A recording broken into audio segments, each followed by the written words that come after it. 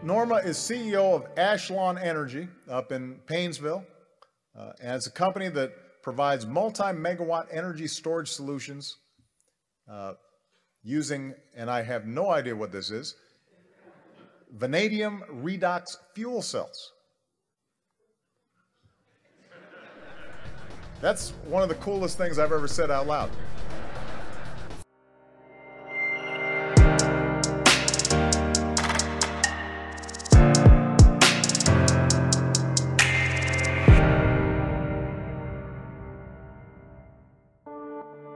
Nickel, the hidden metal in the batteries that power our world.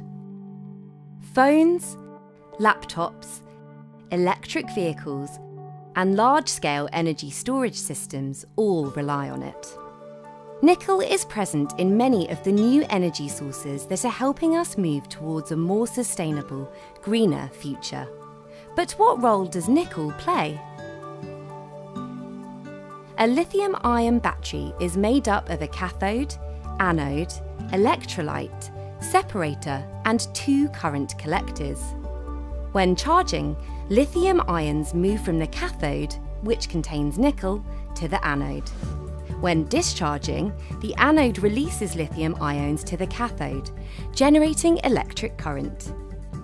The reason so many electric vehicles are powered by nickel containing batteries is because the metal delivers the highest possible capacity with increased power and energy density, whilst being highly cost effective. This allows the battery to be smaller and lighter, contributing to a longer drive range.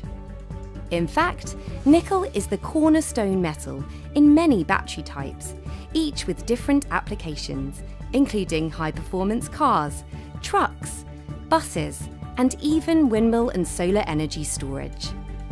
And as new battery technologies are developed, nearly all of them have one thing in common nickel. Its physical properties mean that it will continue to be an indispensable part of a greener, more efficient future.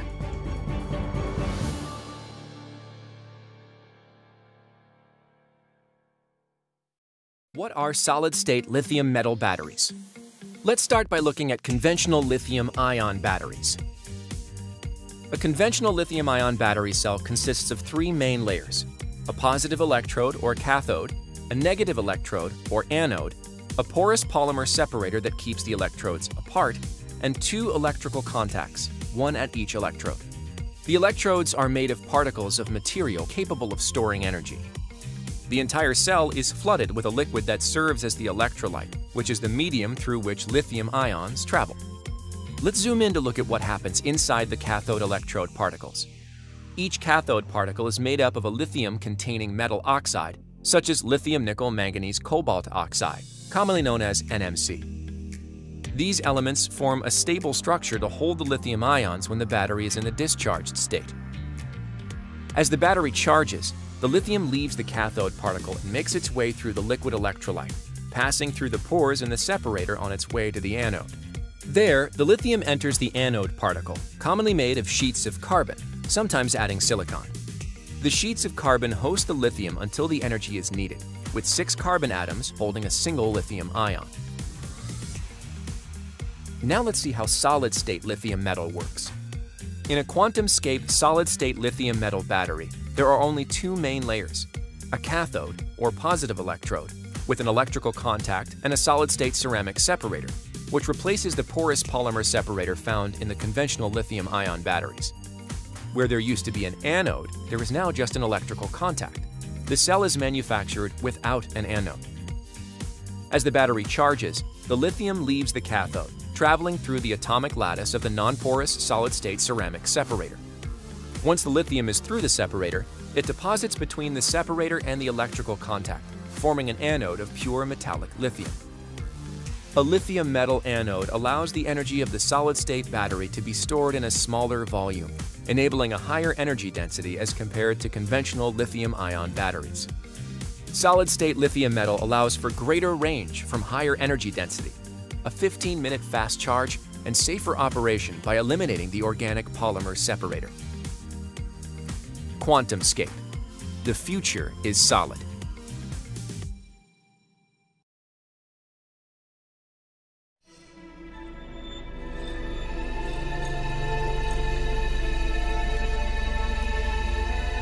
The Schmid vanadium redox flow battery consists of two tanks storing vanadium anolyte and catholyte. Pumps are used to flow these electrolytes through adjacent half cells separated by an ion exchange membrane. Within the half cells, the electrolytes are chemically oxidized and reduced to reversibly convert electrical to chemical energy. An external electrical power source like PV installation supplies the energy to charge the vanadium redox flow battery. The two vanadium electrolytes are flown through the cell stack in which the electrical energy is converted to chemical energy. The electrolytes charged within the cell are flown back to the tanks, increasing the battery's state of charge. Looking into the cell at the molecular level, vanadium-3 and vanadium-4 enter the electrochemical cell. At the catholyte half cell, the vanadium-4 is oxidized to vanadium-5. This chemical reaction yields an electron which is drawn off by the conductive electrode material and a hydronium ion which diffuses across the membrane to the opposite half cell. At the anode half cell, the electron which has traversed the external circuit reduces vanadium-3 to vanadium-2 the hydronium ion, which has passed the membrane, balances the overall charge of the half cell. The two electrolytes leave the half cells in a charged state as vanadium-2 and vanadium-5. Once the grid cannot provide energy to the battery system, the vanadium redox flow battery swaps to discharge. Vanadium-5 and vanadium-2 ions carry the chemical energy into the cell stack. The chemical energy stored within the two electrolytes is converted to electrical energy feeding the external load. At the molecular level, the reverse of the charging reaction occurs. Vanadium-2 is oxidized to form vanadium-3, releasing an electron which carries the electrical energy. For charge balancing, a hydronium ion crosses the ion conductive membrane. Vanadium-5 is reduced by an electron under consumption of a hydronium ion. The electrolytes leave the cell in their discharge states in the form of vanadium-3 and 4. The vanadium redox flow battery delivers electrical power until the electrolytes within the two tanks are completely discharged.